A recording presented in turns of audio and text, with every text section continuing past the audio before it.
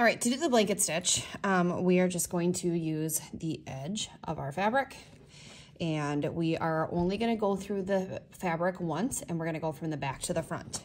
So I'm gonna hold it. I like to hold it and I, um, I see a lot of kiddos that go back and forth.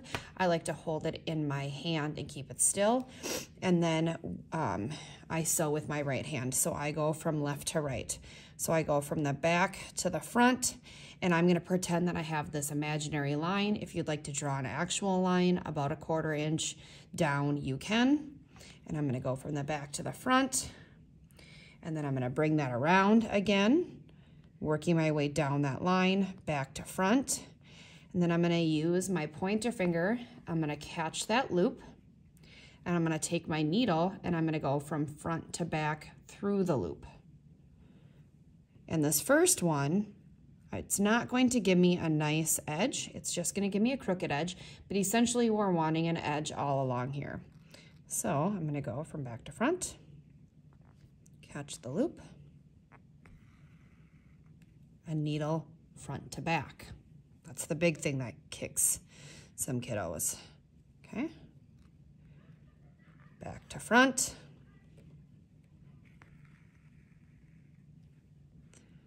Through to the back and pull it. I'm not pulling it super tight because I want those stitches right there on the edge. That's what makes it the blanket edge. You see that right there on the edge?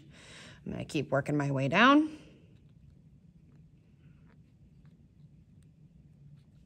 Trying to keep my spacing consistent, back to front, catch the loop, pull it through.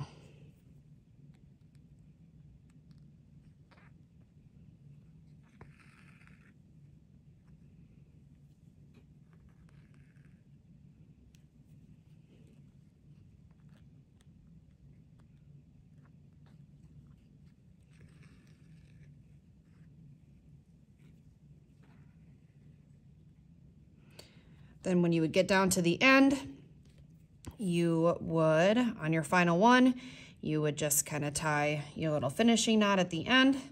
So you would go like this. I like to go like this. Tie a loop, use the needle to pull it through, and then bring that knot right on down and push it right there. And then that's gonna keep that nice and secure. So technically I would go all the way down to the corner, or if you would need to continue around, you'd go from the corner and just keep going all the way around. Um, but that's how you do the blanket stitch.